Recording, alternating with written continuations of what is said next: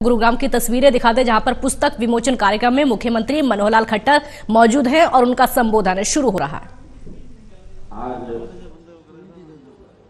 जिन महानुभाव के निमंत्रण पर हम यहाँ पधारे हैं, बहुत ही कर्मठ और समाज सेवी और शहर में अपना स्थान, बहुत ही बखूबी सेवा के भाव से बनाते हुए ऐसे श्री बोधराज सिकरी, हमारी सांसद बहन सुनीता गुजर जी,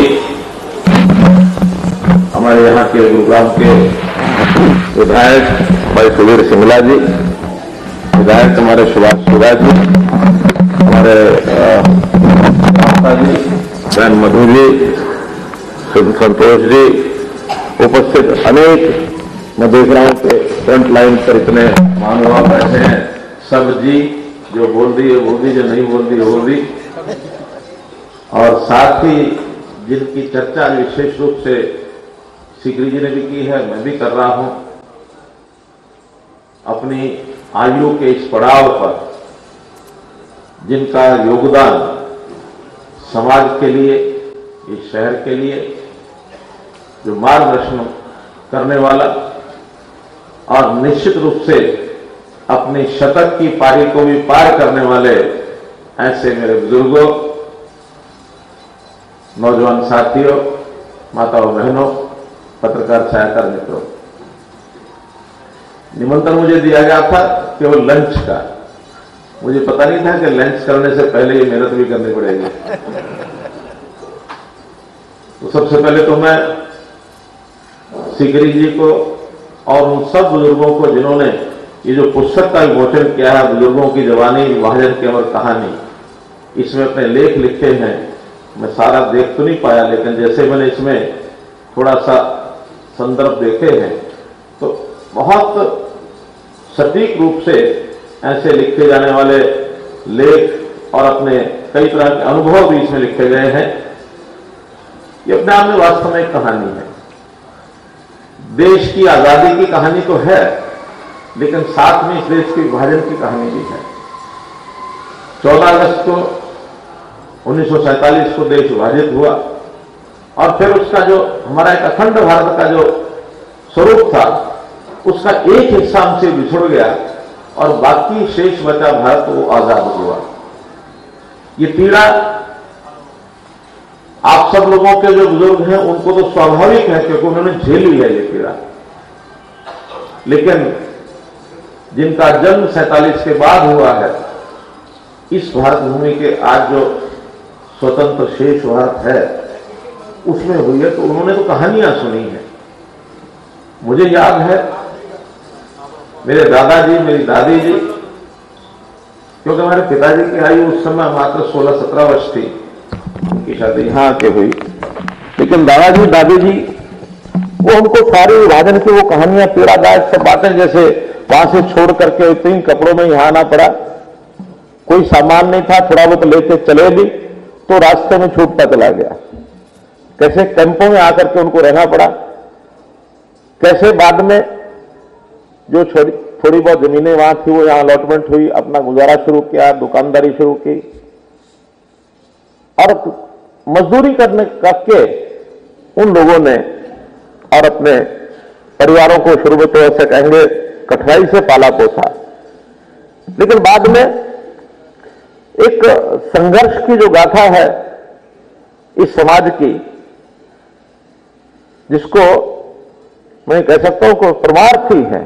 परमार्थ का काम उन्होंने किया, संघर्ष का काम किया, और अपने जीवन को, अपने परिवार को आगे बढ़ाते हुए समाज की भी सेवा की। और न केवल समाज की सेवा की, बल्कि अच्छे उद्योग और अच्छे व्यापार के माध्यम से आगे बढ़ते हुए इस देश की इस प्रदेश की आर्थिक स्थिति को मज़बूत भी किया।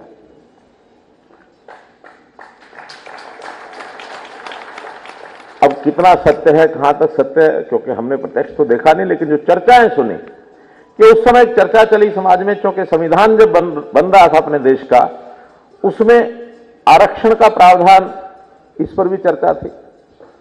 तो अपने समाज की एक, जो उस समय की कहानी बताई है लोगों ने कि चर्चा चले कि हमको भी रिजर्वेशन चाहिए।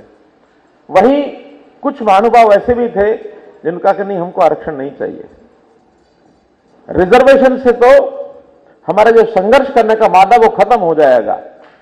हम भी समाज के अंदर कुछ विशेष स्थान बनाने के लिए, फिर जो एक आगे बढ़ने के लिए, पुरुषार्थ करने के लिए जो मादा है, वो दबता है तो हमको नहीं लेना चाहिए। और अंतोगतवा विजयी उसी पक्ष की हुई जिन्होंने कहा कि हमको नहीं लेना चाहिए रिजर्वेशन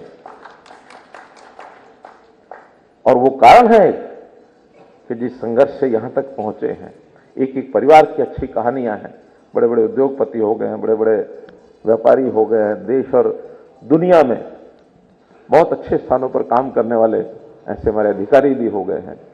तो सारी कहानी लंबी कहानी है, आप सब लोग जानते हैं। मेरा इतना निवेदन है कि जिनको प्रत्यक्ष उन कहानियों का, घटनाओं का अनुभव है, नई पीढ़ी को ज़रूर प्रेरणा दें। ज़रूर प्रेरणा दें, ताकि उनके मन में भी देश प्रेम की एक भावना जागे। इन्हीं में से देश प्रेम की भावना जागती है। आखिर देश प्रेम ऐसा नहीं है कि कोई खरीदा नहीं जा सकता है, कोई थोपा नहीं जा सकता है। और केवल किताबों से पढ़ने से भी नहीं आता है। प्रत्यक्ष जिन्होंने भोगा है, वो जब बताते हैं तो मन में एक उबाल उठता है कि कैसे उस समय मारकाट हुई, कैसे लोगों ने जुल्म सहे, कैसे अपने आप को बचा करके यहाँ लाए। कैसे अपनी जवान बेटियों को अपनी तलवार से गर्दन उतार दी उनकी। ये घटनाएँ हुई हैं। तो खैर, लंबी कहानी है। आज क्योंकि समय भी उतना नहीं है, मुझे एक बजे आना था, लेकिन जैसा बताया सिकरी जी ने, मौसम दिल्ली का खराब था, चंडीगढ़ तो ठीक था, लेकिन परमिशन मिली नहीं वहाँ से उड़ने की। फिर भी जितना समय मिल जाए उतना अच्छा। तो आज हम सब लोग यहाँ आए हैं। सिकरी जी के बारे में ज़रूर मैं कहना चाहूँगा कि समाज से भी व्यक्ति धुन लगी रहती है इनको। अपना काम भी करते हैं, अपना व्यवसाय भी करते हैं, अपने व्यवसाय ग्रुप को भी लीड करते हैं फार्मास्यूटिकल जो व्यवसाय इनका है, इसके अलावा कोई है कि नहीं मुझे पता नहीं है फार्मास्यूटिकल का तो मुझे पता है, और भी है कुछ? पता नहीं लोग छुपा लेते हैं। लेकिन जब इन्होंने अपने बारे में, यानी मेरा संबंध कोई बहुत पुराना नहीं है, यही दो साल का, डेढ़ साल का है, जब इन्होंने अपने बारे में बताया कि मैं समाज का ये काम करता हूँ, और संबंध बहुत अच्छे हैं तो हमने फिर एक काम इनके जिम्मे लगाया सरकार की ओर से। और वो है सीएसआर ट्रस्ट बनाया है। क्योंकि बड़े बड़े जो उद्योगपति हैं, व्यापारी हैं, वो अपने प्रॉफिट में से समाज के लिए योगदान करने का एक नियम है सीएसआर जिसको कहते हैं सोशल यानी कॉरपोरेट सोशल रिस्पॉन्सिबिलिटी वैसे तो हमारी प्राचीन संस्कृति में जुड़ा हुआ है ये। हम पहले व्यापार करते थे, कुछ भी करते थे तो उसमें दशांश निकालते थे, धर्मादा निकालते थे। कि धर्मादा दशांश के माध्यम से समाज की सेवा करनी है। सारा जो कमाना अपने पास नहीं रखना है। अब वो जो कि कानूनी बन, नियम बन गया एक नियम के हिसाब से अब हर ऐसे बड़े व्यवसायिक को एंटरप्रेन्योर को उसमें से कुछ निकालना होता है और समाज में लगाना होता है। हमने फिर उसको सरकार के नाते ऐसे लोगों को आह्वान किया कि पैसा तो आप लगाएँगे लेकिन कहाँ लगाएँगे? इसका जरा तालमेल रख करके जहाँ आवश्यकता है वो हमारे ट्रस्ट को भी उसमें अगर इन्वॉल्व करेंगे तो हम बता सकेंगे कहाँ लगाना, क्या करना है। खास करके पीछे जो कोविड हुआ तो कोविड में सीएसआर के माध्यम से हमारी सारी टोली जिसको लीड किया सिकरी जी ने, बहुत सामान इन काइंड इन कैश हमने इकट्ठा किया और उसमें उस योगदान से सरकार ने अपना काम किया सीएसआर वालों ने अपना किया और भी जिन लोगों ने योगदान उसमें किया सबने मिल करके और कोविड की इस लड़ाई को लड़ा है और आज हम अनुभव करते हैं कि अब उसको, जिसको कहना चाहिए, corona is on dying stage खत्म नहीं हुआ है, लेकिन फिर भी ये डाइंग स्टेज पर है, और हम आशा करते हैं, प्रभु से प्रार्थना भी करते हैं कि इस महामारी को, बीमारी को दूर करें, ताकि हम स्वस्थ जीवन के जी सकें। आप सब लोग यहाँ आए, भोजन और आपके बीच में ज़्यादा गैप न हो, इसलिए मैं अपनी बात को यहीं समाप्त करता हूँ। बहुत बहुत धन्यवाद बहुत बहुत आभार। तुझको खुदा कहूँ या खुदा को खुदा कहूँ, दोनों की सूरत एक है किसको खुदा कहूँ। तो इस प्रकार के व्यक्तित्व बल्कि एक लाइन और याद आ रही है कि आज मैंने अपने सभी मेहमानों से प्रार्थना की कि कोई कोई डिमांड नहीं करेगा, कोई शिकायत नहीं करेगा।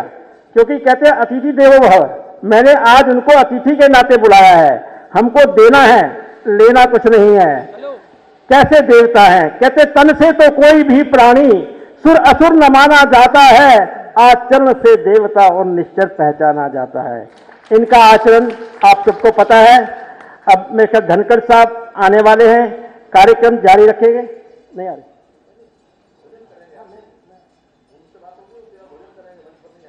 बात होगी? तो हम समापन की ओर जा रहे हैं। जो मेरे बंधु जिनको मैंने मंच पर बुलाना था, उनसे क्षमा याचना, मेरे परिवार के, मेरे भाई, मेरे सारा साहब, मेरे कज़न बैठे हैं, उनसे क्षमा याचना। और मैंने सुनीता जी से ज़रूर बुलवाना था, उनसे क्षमा याचना, क्योंकि वो सरकार का भी प्रतिनिधित्व कर रही है, इसलिए मुझे उम्मीद है कि वे नाराज़ नहीं होंगी। और बहन गार्गी बाहर ऑलरेडी खड़ी हैं।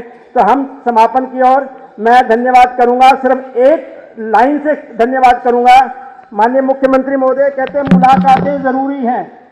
अगर रिश्ते निभाने हैं, लगाकर भूल कर पौधे भी सूख जाते हैं। आपने जो पौधे लगाए हैं, ये आपकी आज इंतज़ार कर रहे थे तो आज की ये, मैं इसको अनौपचारिक आपका विज़िट मानूँगा, और जब कभी भी आप छह महीने साल में, जब आप दो घंटे देंगे, बहुत सी बातें करनी है, कोई डिमांड नहीं होगी, कोई शिकायत नहीं होगी। अगले साल करेंगे।